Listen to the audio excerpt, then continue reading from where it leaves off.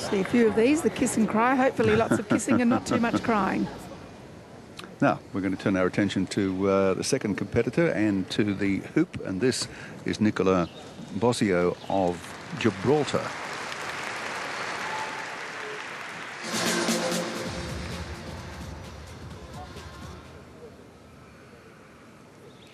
She actually became the first gymnast from Gibraltar to win the overall title at the British National Grades Junior Championships last year, so that was a big achievement. For all intents and purposes, it's the good old hula hoop. They can do a lot more than we could with children, that's for sure. You'll notice that the leotard, the hoop, the hair, everything, the presentation of the routine has to be synchronized with the music and the style of the routine. Little trip there.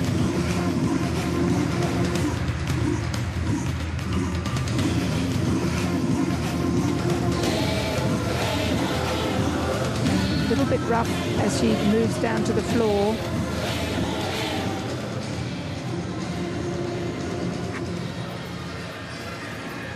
Just watch for the, the footwork. It's not as precise as we'll see from the top gymnast. The leg extension, the precision through the feet as she moves around. Just even the finishing position for the pivots. Mm. Of course, the rhythmic gymnast not allowed, not allowed to perform acrobatic elements the same as the artistics, so they can't do anything with flight. They could do a front walk or back walk over, but they certainly couldn't do Oh, an aerial. And the problem there, she's going to get a penalty of about 0.3 for that. It does depend on how far they have to go to actually chase the apparatus as to how much deduction that they get. So a bit of a shaky start.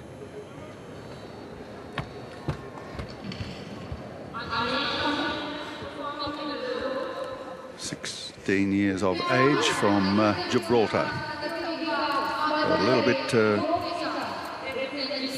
rugged there. A couple of times missed her step, dropped the hoop.